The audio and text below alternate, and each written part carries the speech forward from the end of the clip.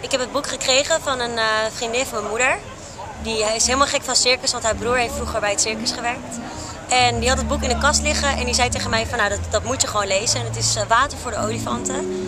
En het gaat, het, het, gaat dus over het circus en het gaat over een, eh, een jongen die eigenlijk bij het circus komt en uiteindelijk voor de olifant gaat zorgen.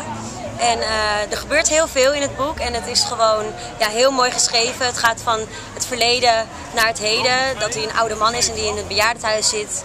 En terugverlangt naar het circus en, en ook denkt weer aan die verhalen wat hij toen heeft meegemaakt. En uh, ik vond het een heel mooi boek en het, uh, er is nu een film van uitgekomen en het, die wil ik zeker ook wel zien. Kijken of het in mijn hoofd hetzelfde is als op beeld.